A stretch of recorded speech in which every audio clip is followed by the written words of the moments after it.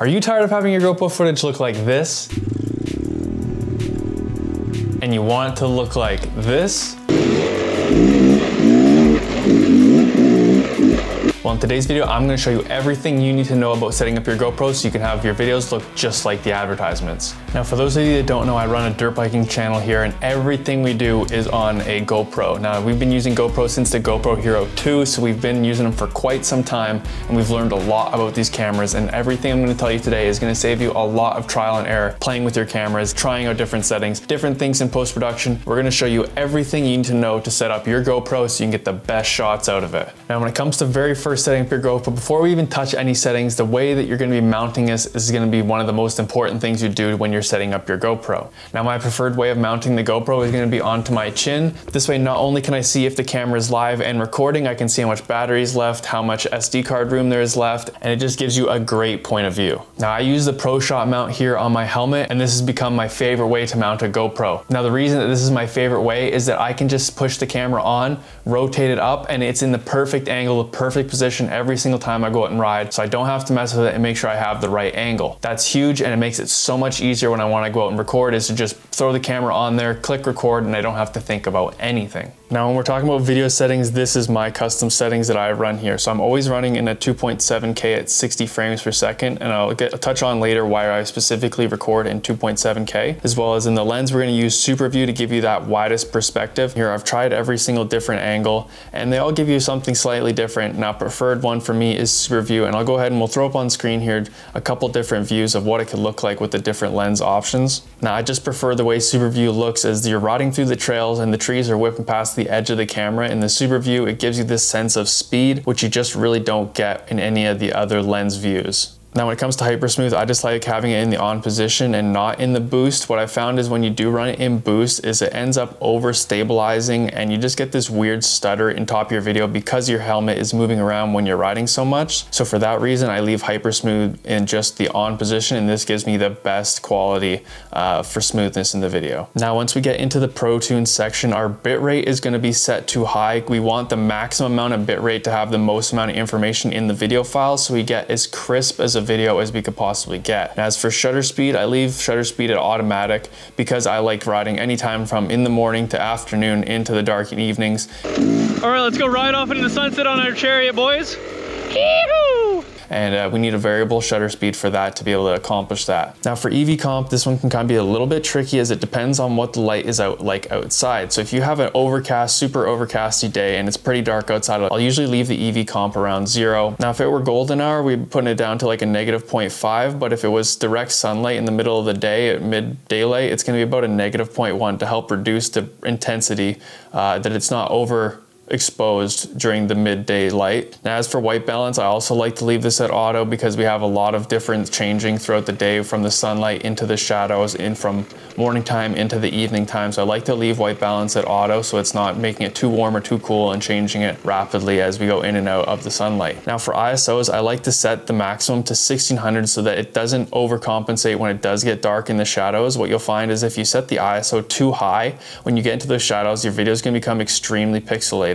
now for sharpness, I like to leave the sharpness on high as I usually am not adding any extra sharpness in post-production, but I like to leave it high for that sharp, punchy look. Now for color grading, we always leave it in the flat color and not the GoPro color because we do our own color grading, which if you want a quick rundown on that, we'll be showing that later in the video, how you can quickly color grade your video to make it look extra crispy and really nice. So for that reason, we're gonna leave it on flat. Now you could leave it on GoPro color if you don't wanna be doing any color grading, but your colors aren't gonna be that accurate and they're gonna be a little wonky and not not ideal. So I definitely recommend if you can to go over and color grade your video instead of using the GoPro color file. Now, when it comes to the raw audio, the win section, um, I don't necessarily use either of these. As you guys are able to see, we use the media mod. Now, if you want good audio coming out of your camera, you're definitely gonna wanna pick up one of these media mods. It's just an absolute night and day difference. So in conjunction with using the chin mount and the media mod and being able to select to use the rear microphone, the rear microphone is positioned right where your mouth is so you can pick up really good voice audio of you talking while riding, and uh, it's very easy to hear someone, and you get great audio quality out of it. And I've been very happy with the Media Mod. Uh, the standard audio you get out of the GoPro without it is just not good at all, and uh, it's always got wind noise in it. But with this, with the wind sock on here with the Media Mod, the wind noise has been kept to an absolute minimum, and the audio has been really, really great out of this camera. So now we once we hop over onto the computer side of things and we're in our editing software, we're using Adobe Premiere here. Now when we spoke about it a little bit earlier and why I record in 2.7K and not 4K is that this can really help with your editing time. So if you're recording at 2.7K, it's a little bit smaller file sizes. So if you don't have a super crazy beast computer, you can edit the video clips a little bit easier as well as we can just scale it up to 4K and then it still plays in 4K on YouTube and you're still gonna get the VP9 bitrate on YouTube, which we'll talk about a little bit later. So the way that we're gonna be able to upscale our 2.7K or you could even upscale your 1080p footage to 4K so you can get that VP9 bitrate on YouTube, which once again we'll talk about in a second here, is we're just gonna drag in our 4K clip, so which is our GX clip here we have showcased down the bottom, which is our old riding clip, but it's in 4K. And all we're gonna do is take our 2.7K clip, we're gonna drag it after. Now you'll see that the box is a little bit smaller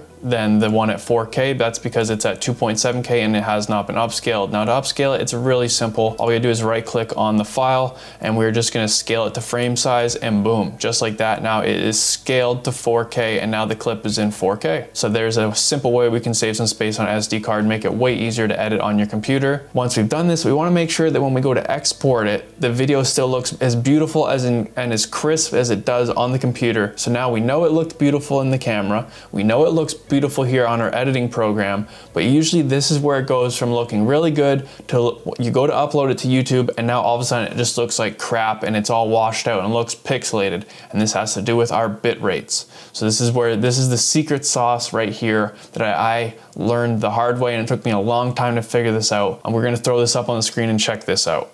Now this page right here is YouTube's recommended video bit rates for standard definition uploads and HDR uploads. Now the GoPro that we're shooting with here is not shooting in HDR, so we're gonna look into the SDR uploads, and if we look at for 4K, and we're shooting at 60 frames per second, we're gonna wanna make sure our export bitrate is from 53 to 68 megabytes per second. So as we raise the number of megabytes per second in our bitrate, the better quality we're gonna get. Now it does cap out a certain point, so you can't just put it at thousand megabytes uh, and export it there. You could, but the file size also gets dramatically larger as you increase that bitrate on your export. So what you need to know is for the different resolutions that you export it at, here are the different bit rates you're gonna need depending on what frame rate you're shooting that video at. Now to be able to do that, we're just gonna come over here into our Premiere editor and we're gonna go into our export and this is where you're gonna wanna set up the proper exporting settings here. Now this is something that's super duper overlooked here. So the first thing that's most important is that we got the correct 4K export basic video settings, which is gonna be 6840 by 2160,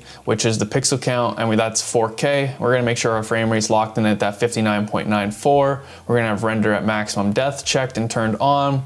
We're gonna make sure we have software encoding set on to high. And here is the most part. This is the crucial part that everyone seems to miss out on. And this is the most important part into making sure that your video comes out super crispy and when it goes to YouTube, it has its best chance possible of looking as beautiful as possible. So here is our bitrate encoding. So what we're gonna do is you have a CBR and VBRs. Now what is the difference between those? CBR simply means constant bitrate and VBR is a variable bitrate. So in a constant bitrate, it's gonna give it one flat bitrate across the video whether there's lots of action happening or barely any action happening. So what we are gonna be doing is we're gonna be doing a variable bit rate with a two pass, meaning it's gonna go over the video once and check it out and render it and export it and check out the bit rates. And then it's gonna go over a second time and it's gonna be looking for those spots that are really high action packed, which is normally when you get that high pixelation, which makes it look crappy when you're flying through the trails. So that's why we wanna make sure we're doing the two pass. And uh, we're gonna set our target bit rate at that magical number, 68 megabits per second. And we're gonna set that maximum bit rate to 68 megabits per second. And then this is what's gonna give you that best look when you go and upload it to YouTube. Now, a little bit earlier, we are talking about that VP9 codec. Now, what is this exactly? Well, on YouTube itself here,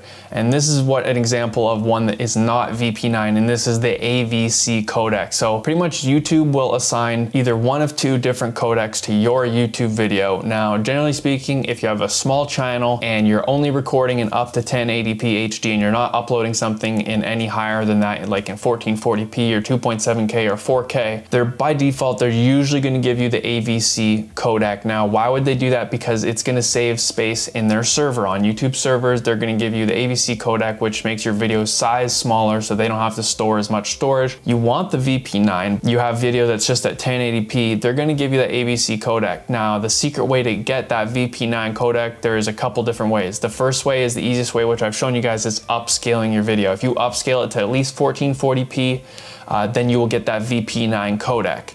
Now, how do you know if your videos are actually getting the AVC codec or the VP9 codec? It's really easy. We're gonna come onto a video just like this one here. And as you can see, it's got a little bit of that pixelation going on to it. It doesn't look, I've seen worse videos, but it doesn't, it's, it's missing out on free friggin' awesomeness that it could be getting in this video. And the simple way we're gonna check what codec that they've given you on any given video is we're just gonna pause the video here for a second.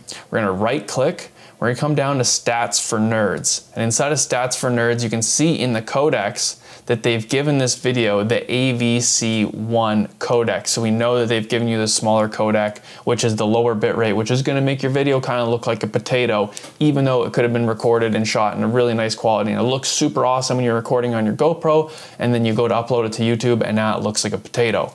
Now here we have my video, and if we go ahead and click the stats for nerds, you can see that they've assigned us that VP09 codec because we've uploaded in 4K. Now, we didn't record in 4K, but we upscaled from 2 2.7K up to 4K, and then they gave us this VP09 codec, and our video looks freaking awesome, super beautiful, and amazing. Now when it comes to color coding your GoPro footage, this is how we can do it really, really simply, really easily. First things we're gonna come down into our project browser. We're gonna go to this little new item page. We're gonna make an adjustment layer. Yup, it's set it for 4K. We're gonna put it on top of all the videos. Say you had a whole bunch of videos along the track. You're gonna drag them over this purple adjustment layer over all of it. We're gonna make sure we got it highlighted and clicked. We're gonna go over to our color tab and we're just gonna give it a basic, uh, our basic color profile that we like to do on our videos, which we're gonna add a little bit of contrast to it, make it a little bit darker. The dark is more dark. We're gonna add a little bit of saturation here to it.